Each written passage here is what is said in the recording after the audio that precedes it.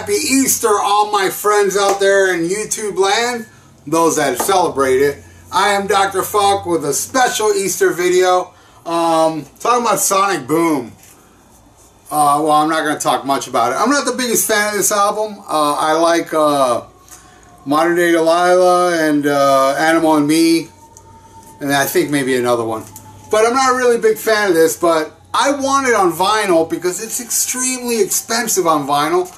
And it doesn't matter if I like it or not. I am a vinyl collector. And if I like a band and I love Kiss, I want all their albums. I even own Crazy Nights, which I think is even worse than this one.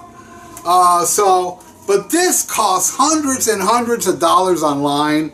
Not worth getting, in my opinion. I might, I, I may love the band and may want it bad, but I don't think I'd pay more than 40 bucks for a vinyl has to be a very special vinyl. Definitely I wouldn't do this. But, but, somebody by the name of Brent Isbell, oops, uh, did I fuck it up? No, unfortunately I didn't. Um, he wrote me saying, hey, are you still looking for a Sonic Boom vinyl? I have one. And I, first thing I thought was, I'm not going to pay what this guy's going to offer. I know he's going to offer more than I want to pay. And uh, I said, well, yes, I am. How much? And he said, dude, I'm going to give it to you for free. And I was like, what? And he goes, you know, and he said that, you know, he's recently, you know, he found God and, you know, he's just doing stuff in his life, makes him feel good to give stuff away. So he sent me this for free. So now my Kiss vinyl collection is complete. No, I do not count the originals. I don't own the originals. Uh, but I have everything else. I, am talking about official releases, not bootlegs, not greatest hits, none like that. Though I do have uh, double platinum. It's the very first Kiss album I bought. I love it. Uh, though that's another one I haven't bought on the 180 gram versions because it's extremely expensive. I'm planting seeds in, in case anybody wants to send me. And check this out. It's still sealed. And he sent it to me still sealed. And it has a little orange sticker here, a little round one, which I, I guess it means it is an orange vinyl. Well, I'm going to open it. I'm going to open this because I'm not I'm not the type of person even though I never open my uh, my crazy nights but I'm going to open this one. Because fuck it. Right? It's not about the money with me, man. So, but I also don't want to destroy this. So here I go. I'm opening it and I'm taking the plastic off. See what's, uh, I'm not going to break the plastic though. I'm just going to gently take it off and uh, see what, what it looks like inside. It, it seems to be a gatefold. So, uh, man, Brent, thank you so much. You done helped me complete my Kiss vinyl collection, in my opinion. All I need is all official, all the official uh, studio releases and the live releases. I, I have them all. Uh, you know what I, which one I don't have, and it's probably on vinyl, is the Symphony one. But I do have the Millennial and all that shit. Come on, get out of here. This is a tight one. Mmm, tighter than a... Well, oops, I almost said something blasphemy, which I'm not going to do that because it is Easter. So I'll save it for another one. Okay, here it is. Here's the gatefold. Scab Kiss Galore. And it seems to have something something extra in here. Oh, look. Looky here. A poster. a poster of Scab Kiss. Something that will never touch my walls. But cool to have, man. I'm telling you, I'm happy I have this because Happy to end my final collection of Kiss. And by the way, I know a lot of you people are not fans of Monster, and I love that album. And uh, somebody brought up a interesting point on, on the Almost Human Facebook page, if you're not part of it. This guy said, I love Monster, and if Kiss is going to end their career with that album, I'm happy with it. And I got to agree. All right, here's the, it brings the lyrics. And more pictures of Scab Kiss. And sure enough, it's not really orange, is it? It's more red. Red vinyl. Well, almost orangey red. So there you go, man. Brent, I can't thank you enough, buddy. Thank you so much. I even said to him, dude, uh, it's up to you. You want me to make a video to say what a cool thing you did? He said, you know, I don't care. It's up to you. He's such a modest dude. He's so awesome. I said, well, that means I'm going to do it. So thank you so much, Brent, uh, for this. I can't thank you enough. I had to make a video dedicated to you, friend. And I wish you all the best. And here's something else I got in the mail the other day. I ordered the, the first Kiss album, 45th anniversary, and I played it. And it's pretty fucking good. Uh, what, ma what makes this different is uh, it's like a silver with some black splotches. Uh, somebody put up on the Almost Human page, it had way more black splotches all over it, and uh, I was kind of like, ew. I don't even like the little black splotches here. I'd rather it all be silver, but I played it, and it feels like 180 gram, even though it doesn't say it on here. But um, I tell you, man, I have this serious addiction to vinyl. You know, it's very expensive. It's like being uh, addicted to cocaine. You know, it's pretty much the same. I just blow a lot of money in. You know, for some reason though, when they released the Destroyer one, I wasn't interested. When they released the Rock and Roll one, the orange one, that I was interested in, and I bought that one. And then when I saw this was coming out, I said, "Fuck that! I'm buying this too." So there's something else I got. Anyway, happy Easter, everybody. Uh, those that just want to see Kiss, bye, skedaddle. You can go now. Um, I'm going to leave you with this, and this is going out to Brent as well. This is a video I made. Now, uh, I got to say, I'm not a religious person. I'm to be honest. But I'm not one of these satanic people, and I'm not one of these people that blaspheme God, and, you know, like a lot of my metalhead friends just go nuts with the... Actually, my, uh, I wrote a song on the first Thrash Die album called Mosh Pit Messiah, which is about Jesus coming back from the dead, torturing uh, black metal artists from Norway. It's a comedy. It's a cute little comedy, heartwarming comedy. But I'm kind of like, I don't believe in Satan, I don't believe in God, but at the same time, I'm not one here to say God doesn't exist. I don't know. I don't know what happens after we die. None of us do. But you know, hey, if you want to hate on God, go right ahead. If you want to hate on the devil, go right ahead. Everybody's free to think what they want. I think what I want. Now, uh, one of my favorite bands ever is Mercyful Fate, which is a total satanic band, but I just love it for the music and when he sings about Satan, I don't know, it kind of affects me in a good way. I'm like, you know, fucking evil, man. But then at the same time, I love Stryper. I love Barren Cross, you know, I love uh, Whitecross. I like a lot of Christian metal as well. So uh, I'm going to leave you with this. I made a video for the Stryper song called Yahweh. Now, here's the thing. I always liked Stryper as a kid. I wasn't a fan of like the ballady stuff they did. That was a little too sugar-coated for me.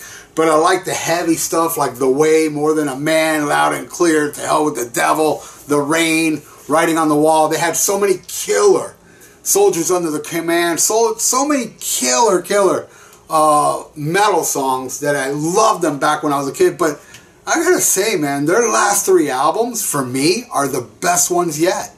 Uh, the last one, Goddamn Evil's awesome.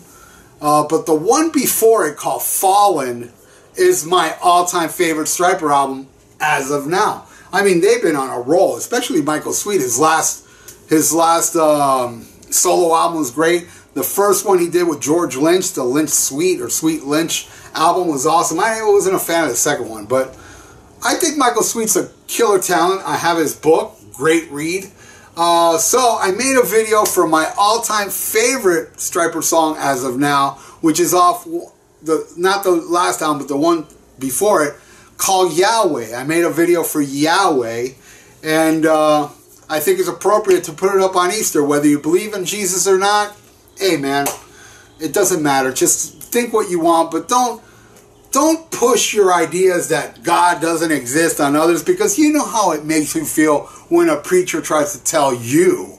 Like you've been to a concert with people outside, uh, accept Jesus now, don't burn in hell. You are no different than those people to tell people that God doesn't exist. But whatever, if you want to be a hypocrite, go right ahead. But anyway, thanks for watching.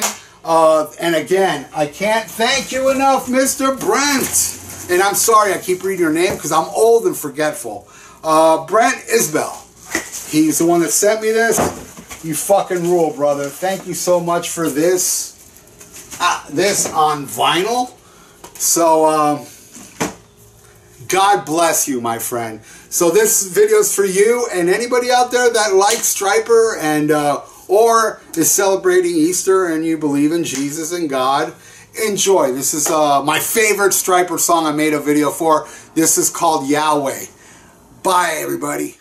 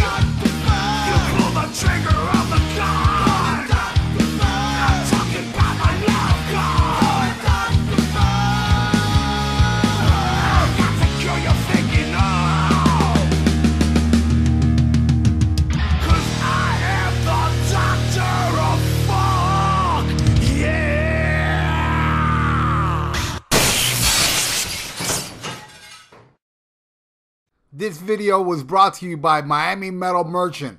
For competitive prices and for your metal needs, visit www.miamimetalmerchant.com.